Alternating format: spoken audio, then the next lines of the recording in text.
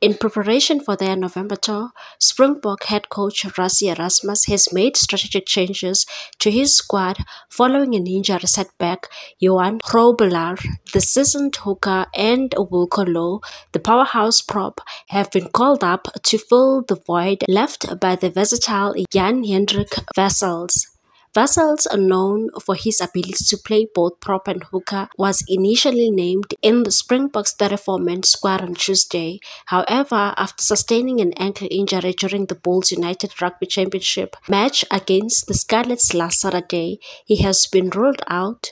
This development prompted Erasmus to turn to Johan and Louw, both of whom have strong ties to the Bulls franchise.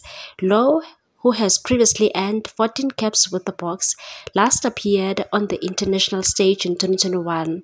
He was listed as a standby for the July test earlier this year and has consistently showcased impressive form with the Bulls this season. Leading to his recall, Johan meanwhile has been a regular face in the Boks squad throughout the year, even earning stats in matches against Portugal and Australia. With the inclusion of Grobbelaar and Louw the Springbok squad now boasts 35 players, 19 forwards and 16 backs. Rassie Erasmus said losing a player to injury is always disappointing and we wish Jan Hendrik the best as he recovers. However, the situation opens the door for Johan and Wilco to step up and prove themselves against strong opponents like Scotland, England, and Wales. Jan Hendrik's versatility allowed him to cover both prop and hooker, but with his absence, we've opted to specialized players in the positions.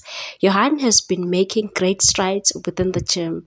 The Wilco's performances for the Bulls have been nothing short of excellent. He's been knocking on the door for some time now, and I'm confident he'll seize this opportunity. The Springboks are set to embark on their tour journey soon.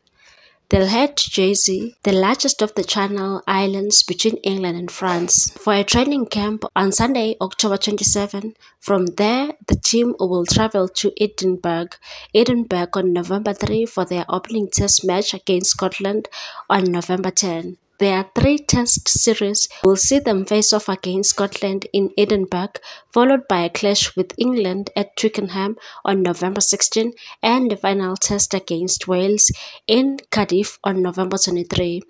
As they embark on this traditional end year of the tour, the Springboks will look to sharpen their squad depth and end the season on a high note. Please like, comment, share, and subscribe for more sports news.